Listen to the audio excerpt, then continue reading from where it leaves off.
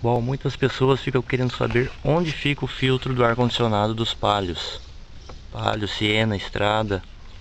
Bom, esse filtro de ar eles ficam embaixo do porta-luva. Aqui está a caixa do porta-luva. Você vai vir aqui embaixo. Meio escuro aqui, não sei se vai dar pra ver. Bem no canto aqui. Bem no cantinho. Tem dois parafusos. Só tirar dos dois parafusos e puxar o filtro. É bom ter uma lanterna para clarear. E é aqui que fica, bem aqui embaixo, o filtro de gabine, o filtro do ar-condicionado do Palio.